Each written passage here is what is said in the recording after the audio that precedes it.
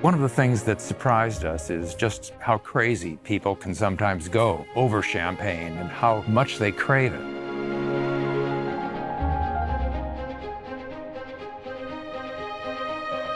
My grandfather drank champagne pretty much every day, certainly for either lunch or dinner.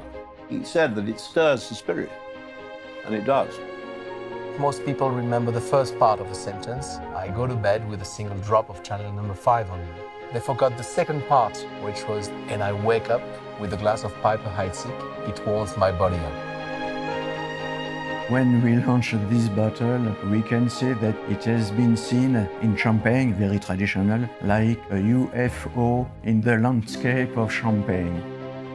We use Bollinger being the champagne of James Bond, and we promote the launch of the film in 90 countries. Tonight we will bring some champagne to the EE BAFTA ceremony.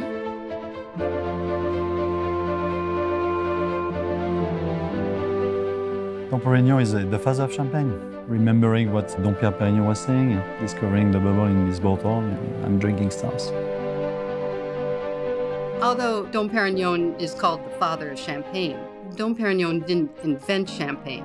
We turned them into sparkling wines long before Dom Perignon ever set foot in Champagne. This day will be when you will have uh, no more rain in England.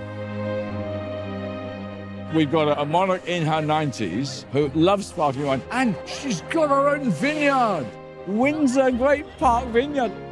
Do the English actually make wine?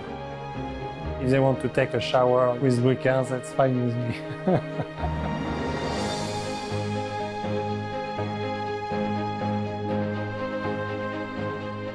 Once again, saute. Mmm, very nice. Apple juice.